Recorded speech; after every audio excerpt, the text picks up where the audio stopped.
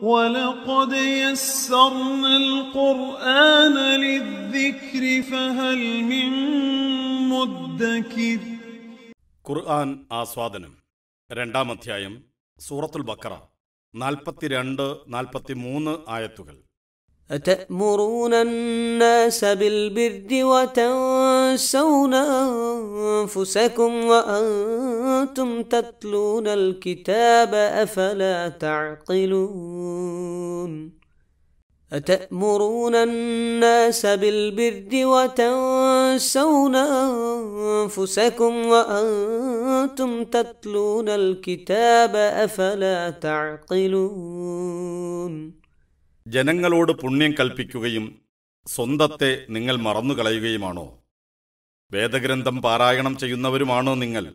നിങ്ങൾ എന്തേ ചിന്തിക്കുന്നില്ല?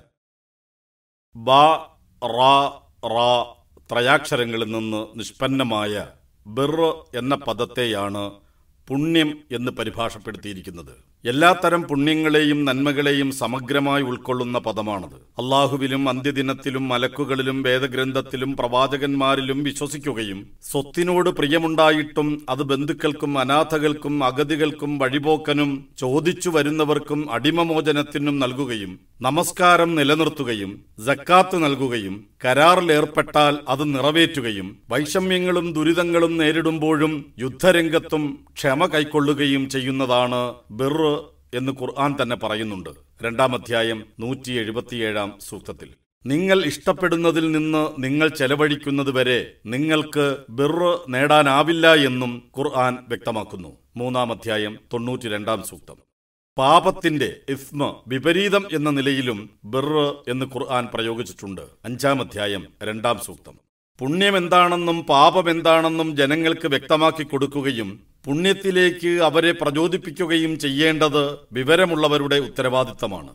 ഈ ഉത്തരവാദിത്തം നിർവഹിക്കാത്തതിനാൽ ദാവൂദും ഈസയുമെല്ലാം യഥാരൂപത്തിൽ വിശ്വാസം ഉൾക്കൊള്ളാത്ത ഇസ്രായേല്യരെ ശപിച്ചതായി ഖുർആൻ പറയുന്നുണ്ട്. അഞ്ചാം അധ്യായം എഴുപത്തിയെട്ട് എഴുപത്തി ഒൻപത് സൂക്തങ്ങളിൽ.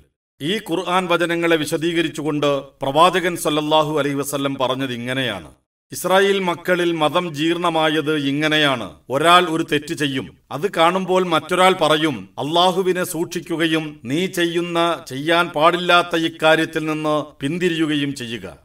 അടുത്ത ദിവസം അയാൾ അതേ തെറ്റ് ആവർത്തിക്കും. അയാളോടൊപ്പം ഇരുന്ന് തിന്നുന്നതിൽ നിന്നും കുടിക്കുന്നതിൽ നിന്നും കൂട്ടുകൂടുന്നതിൽ നിന്നും ഒന്നും അത് മറ്റേയാളെ തടയുകയില്ല. ഇത് ആവർത്തിക്കപ്പെട്ടപ്പോൾ അവരോട് കൂട്ടം കൂടിയവരുടെ തിന്മകളിലേക്ക് അവരുടെ മനസ്സ് ചാഞ്ഞു.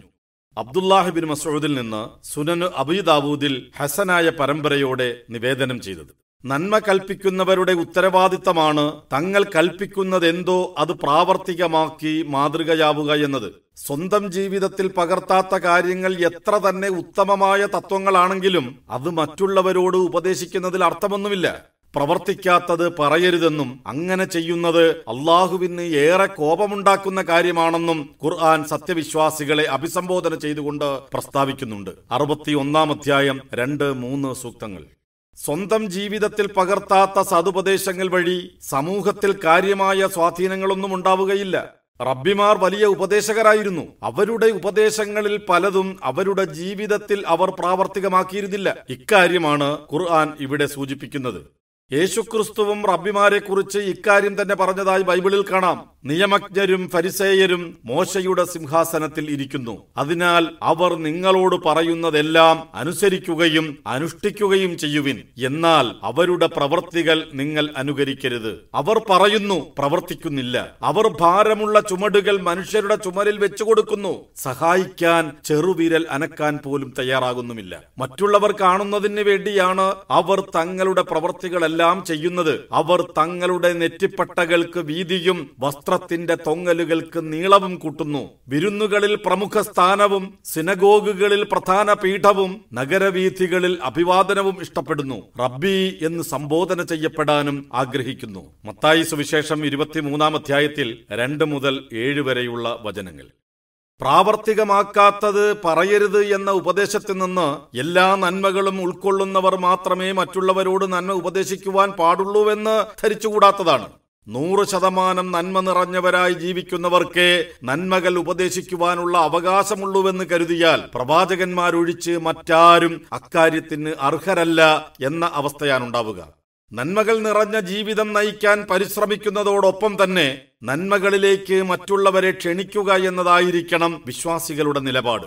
നന്മ പറയാൻ മാത്രമുള്ളയാളാണ് താൻ. അനുസരിച്ച് ജീവിക്കേണ്ടത് പ്രബോധിതരാണ് എന്ന റബ്ബിമാരുടെ സമീപനത്തെയാണ് ഖുർആൻ വിമർശിക്കുന്നത്. താൻ പരിപൂർണനല്ലാത്തതിനാൽ മറ്റുള്ളവരെ ഉപദേശിക്കാൻ അർഹനല്ല എന്ന ചിന്ത പ്രബോധന പ്രവർത്തനങ്ങളിൽ നിന്ന് പിന്തിരിപ്പിക്കുവാൻ വേണ്ടി പിശാജ് വിശ്വാസി മനസ്സുകളിൽ ഇട്ടുകൊടുക്കുന്നതാണെന്നും അതിനെതിരെ ജാഗരൂകരാകണമെന്നും പണ്ഡിതന്മാർ ഉപദേശിച്ചിട്ടുണ്ട്. താബി പണ്ഡിതനായ ഇമാം ഹസനുൽ ബസരി റഹ്മഹുല്ലാവിൽ നിന്നും ഉദ്ധരിക്കുന്ന ഒരു സംഭവം നോക്കുക. അദ്ദേഹം ഒരിക്കൽ മുത്തരിഫ് ഇബിന് അബ്ദുല്ലായോട് പറഞ്ഞു താങ്കൾ കൂട്ടുകാർക്ക് സാരോപദേശം നൽകിയാലും മുത്തരിഫ് പ്രതിഭജിച്ചത് ഇങ്ങനെയാണ്. പ്രാവർത്തികമാക്കാത്ത കാര്യങ്ങൾ പറയുന്നവരുടെ കൂട്ടത്തിൽ ഞാൻ ഉൾപ്പെടുമോ എന്ന് ഭയപ്പെടുന്നു. ഹസനുൽ ബസരി പറഞ്ഞു അള്ളാഹു താങ്കളോട് കരുണ കാണിക്കട്ടെ. പറയുന്നതെല്ലാം പ്രാവർത്തികമാക്കിയവരായി നമ്മിൽ ആരാണുള്ളത്? ഈ ചിന്ത വഴി താങ്കളുടെ വഴി ജയിച്ചടക്കാമെന്നും അങ്ങനെ അവസാനം നന്മ കൽപ്പിക്കുകയോ തിന്മ വിലക്കുകയോ ചെയ്യുന്നവരായി ആരുമുണ്ടാകാത്ത അവസ്ഥ സംജാതമാക്കാമെന്നുമാണ് പിശാജ് മോഹിക്കുന്നത്. തഫ്സീർ കുർത്തുബിൽ ഒന്ന് ബാർ മുന്നൂറ്റി അറുപത്തിയെട്ട് തങ്ങൾ നൽകുന്ന ഉപദേശങ്ങൾ സ്വന്തം ജീവിതത്തിൽ പ്രയോഗവൽക്കരിക്കേണ്ടതില്ലെന്ന് കരുതുന്നവർക്ക് മതം ചൂഷണോപാധിയും സ്വാർത്ഥമായ താൽപര്യങ്ങൾ സംരക്ഷിക്കുന്നതിനുള്ള മാർഗവുമായിരിക്കും. അപ്രായോഗികമായ മതനിയമങ്ങൾ പ്രസംഗിക്കുവാൻ അവർക്ക് യാതൊരു മടിയുമുണ്ടാവില്ല. തങ്ങളേതായാലും ആ നിയമങ്ങൾ പിന്തുടരാൻ പോകുന്നില്ലെന്ന് അവർക്കുറപ്പാണ് അത്തരം നിയമങ്ങൾ വഴി അനുയായികളെ പ്രയാസപ്പെടുത്തി തങ്ങളുടെ അധികാരം നിലനിർത്തുന്നതിലായിരിക്കും അവരുടെ ശ്രദ്ധ. മതം അപ്രായോഗികമായി അനുയായികൾക്ക് അനുഭവപ്പെടുന്നതിൽ അവർക്ക് പ്രയാസമൊന്നും ഉണ്ടാവുകയില്ല. മതനിയമങ്ങളിൽ ഇല്ലാത്ത കാർക്കശ്യം സൃഷ്ടിക്കുകയാണ് അവർ ചെയ്യുക. തങ്ങൾ സൃഷ്ടിക്കുന്ന നിയമങ്ങളുടെ ചുമടുകൾ താങ്ങുക സ്വന്തത്തിന്റെ ബാധ്യതയല്ലെന്നാണ് അവർ കരുതുന്നത്. നിയമങ്ങൾ താങ്ങാൻ കഴിയാത്ത അനുയായികളുടെ നെടുവീർപ്പുകളെ അവരെ ചൂഷണം ചെയ്യാനുള്ള ഉപാധികളാക്കി തീർക്കുകയാണ് പുരോഹിതന്മാരും പണ്ഡിതന്മാരും ചെയ്യുക. അവർ ഭാരമുള്ള ചുമടുകൾ മനുഷ്യരുടെ ചുമലിൽ വെച്ചു കൊടുക്കുന്നു. സഹായിക്കാൻ ചെറുവിരൽ അനക്കാൻ പോലും തയ്യാറാകുന്നുമില്ല എന്ന് ക്രിസ്തു പറഞ്ഞത് മത്തായി സുവിശേഷം ഇരുപത്തിമൂന്നാം അധ്യായത്തിലെ നാലാം വാചകം. ഇത്തരക്കാരെ കുറിച്ചായിരിക്കണം തൗറാത്തിലും ഇഞ്ചീലിലും സന്തോഷവാർത്ത അറിയിച്ച അന്തിമ പ്രവാചകന്റെ നിയോഗത്തെക്കുറിച്ച് പറയുമ്പോൾ അവരുടെ ഭാരങ്ങളും അവരുടെ മേലുണ്ടായിരുന്ന വിലങ്ങുകളും അദ്ദേഹം ഇറക്കി വെക്കുകയും ചെയ്യുന്നുവെന്ന് ഖുർആൻ ഏഴാം അധ്യായം നൂറ്റി അൻപത്തിയേഴാം സൂക്തത്തിലൂടെ പ്രസ്താവിച്ചത് ശ്രദ്ധേയമാണ്.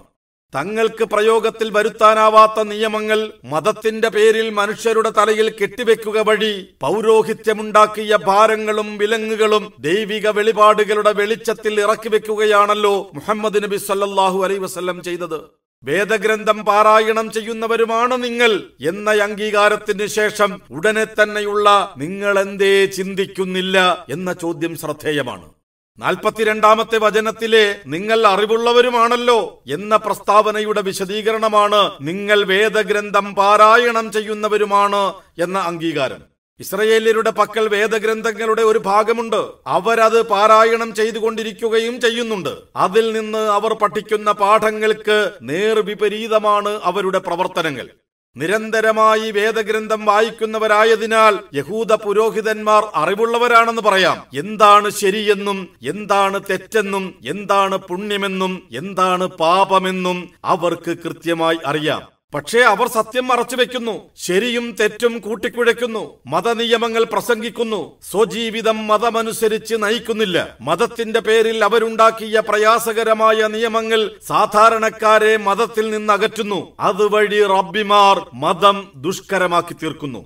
തങ്ങളുടെ ദുഷ്ചെയ്തികൾ കൊണ്ടുണ്ടാവുന്ന അപകടങ്ങളെക്കുറിച്ച് അവർ ബോധവാന്മാരല്ല. അവർക്ക് വിവരമുണ്ട് പക്ഷേ അവർ ചിന്തിക്കുന്നില്ല. വേദജ്ഞാനം കൊണ്ട് തുളുമ്പുന്നതാണ് അവരുടെ തലച്ചോറ്. പക്ഷേ മതത്തിന്റെ സൗരഭ്യം അവരുടെ വർത്തനങ്ങളിലില്ല. മസ്തിഷ്കത്തിൽ മതമുണ്ട് പക്ഷേ ഹൃദയത്തിൽ നിന്ന് മതം പുറത്തു വരുന്നില്ല. ഹൃദയത്തിൽ മതമുണ്ടായിരുന്നുവെങ്കിൽ തങ്ങൾ ചെയ്യുന്നതിന്റെ വരും വരായികകളെ കുറിച്ച് അവർ ചിന്തിക്കുമായിരുന്നു. മതത്തെ അപ്രായോഗികമാക്കുന്നതിന്റെ അപകടങ്ങൾ അവർക്ക് മനസ്സിലാകുമായിരുന്നു. അറിവ് മാത്രം പോരാ പണ്ഡിതന്മാർക്ക് ചിന്താശേഷി കൂടി വേണമെന്നും അതില്ലാത്തവർ മതത്തെ കളങ്കപ്പെടുത്തുകയാണ് ചെയ്യുകയെന്നുമുള്ള പാഠം ഈ വചനങ്ങളിലുണ്ട്.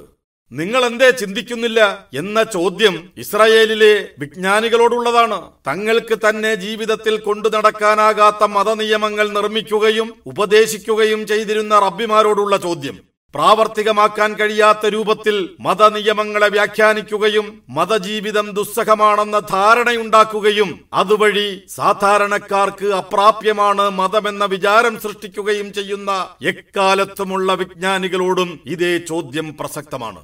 ദൈവികമായ വിധിവിലക്കുകൾ ആളുകളെ പ്രയാസപ്പെടുത്തുന്നതിന് വേണ്ടിയുള്ളതല്ല ധാർമ്മിക ജീവിതത്തിന് സഹായിക്കുന്നതിന് വേണ്ടിയുള്ളതാണ്. വ്രതാനുഷ്ഠാനത്തിലെ ഇളവുകളെ കുറിച്ച് പറഞ്ഞുകൊണ്ടുള്ള നിങ്ങൾക്ക് ആശ്വാസമുണ്ടാകാനാണ് അള്ളാഹു ഉദ്ദേശിക്കുന്നത്. നിങ്ങൾക്ക് ഞെരുക്കമുണ്ടാക്കാൻ അവൻ ഉദ്ദേശിക്കുന്നില്ല. രണ്ടാം അധ്യായം നൂറ്റി എൺപത്തിയഞ്ചാം സൂക്തം. എന്ന ഖുർആാനിന്റെ പ്രസ്താവന മതത്തിന്റെ പ്രായോഗികതയെയും വിശാലതയെയുമാണ് വെളിപ്പെടുത്തുന്നത്. മതനിയമങ്ങൾ ആളുകളെ പ്രയാസപ്പെടുത്തുന്നതിന് വേണ്ടിയുള്ളതല്ല അവർക്ക് നന്മ നിറഞ്ഞ ജീവിതം എളുപ്പമാക്കുന്നതിന് വേണ്ടിയുള്ളതാണെന്ന് പ്രവാചകൻ സല്ലല്ലാഹു അലൈ വസ്ല്ലം പലപ്പോഴായി ആവർത്തിച്ച് പഠിപ്പിച്ചിട്ടുണ്ട്. പ്രബോധകരോടായി പ്രവാചകൻ സല്ലല്ലാഹു അലൈ വസ്ല്ലം നൽകിയ പ്രധാനപ്പെട്ട നിർദ്ദേശങ്ങൾ ഈ രംഗത്തെ ഇസ്ലാമിന്റെ നിലപാട് വ്യക്തമാക്കുന്നുണ്ട്. കാര്യങ്ങൾ എളുപ്പമാക്കുക പ്രയാസകരമാക്കരുത് സന്തോഷവാർത്തയെ അറിയിക്കുക ഭയപ്പെടുത്തി ദൂരെയാക്കരുത്. മനുഷ്യരെ ശാന്തരാക്കുക ഭീതിപ്പെടുത്തി അകറ്റാതിരിക്കുക രണ്ടും അനസിബിന് മാലിക്കിൽ നിന്ന് ബുഖാരിയും മുസ്ലിമും നിവേദനം ചെയ്തതാണ്.